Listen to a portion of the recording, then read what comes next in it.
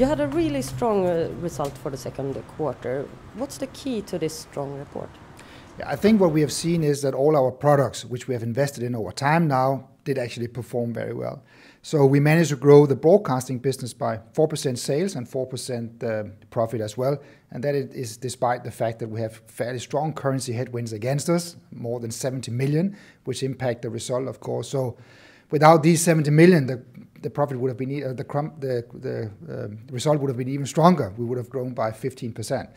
Uh, but we are happy, of course, because obviously it looks like the products that we are producing have very strong consumer traction. So that is very important for us.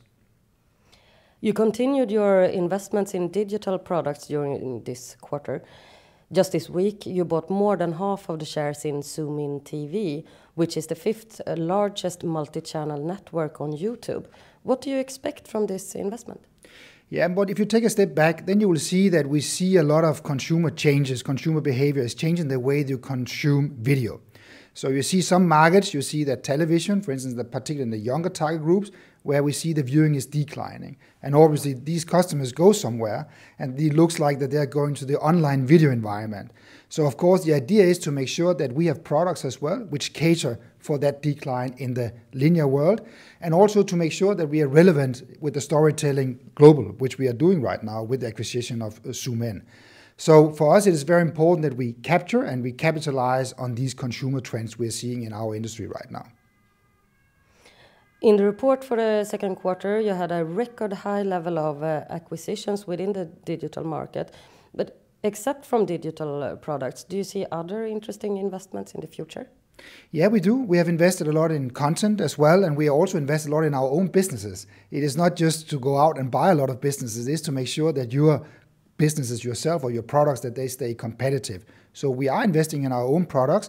At the same time, we make sure that we are relevant online as well uh, with the investments that we've made now uh, with, with Splay and, and Zoomin, as you say, but also Turtle, the esports company.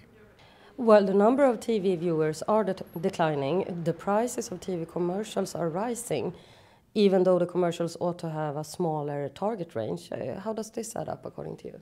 Now, you could argue that TV commercials have been too cheap over time, but basically TV is a very strong advertising media. Denmark has their best quarter since 1992, uh, 1999. Um, so we are getting more and more customers in as well at the same time, uh, relevant customers for TV advertisers. You recently reclassified your ownership in the Russian media corporation CTC Media. Why is that? It's very simple because we, we understood from the CTC board that there's an offer uh, for the company, and, and we have said now the CTC, our shares are for sale, and that is why it's been reclassified.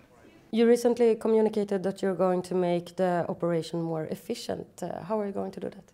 Yeah, right now what we are seeing is that we are moving away from a so-called product organization to a country organization. And the whole idea is, of course, to get closer to the customers, to make sure that each of the countries, and they are different in Denmark, Sweden, and Norway, Uh, and Finland, to make sure that they are set for, for the, the, the, right way for the competition in each of the individual countries.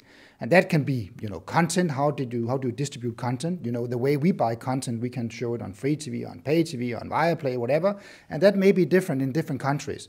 So the idea is that we optimize the organization, we get strong management in the local territories to make sure that we continue to be a very strong player and relevant player in each of the countries we're in. Thank you very much. Thank you for coming. Thank you.